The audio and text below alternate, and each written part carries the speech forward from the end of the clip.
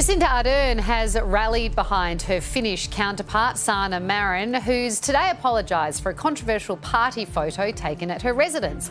It comes a week after the 36 year old Marin faced a storm of criticism over a leaked video of her partying with friends. New Zealand's PM noted such a harsh spotlight could potentially put people off entering public life. We need people from all walks of life to look to politics and think that's a place I feel I can make a positive difference. Uh, how do we constantly uh, make sure that we attract people to politics rather than perhaps has been historically the case, put them off?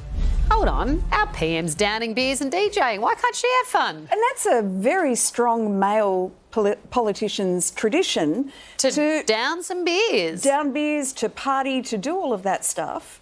But the minute a woman does it, And the thing is, when men do it, they're, they're at a football game and we see them sculling beers watching the Sharks play.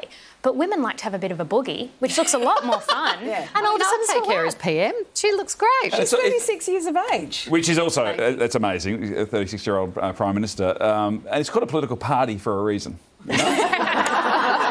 to put the party back into politics, yeah?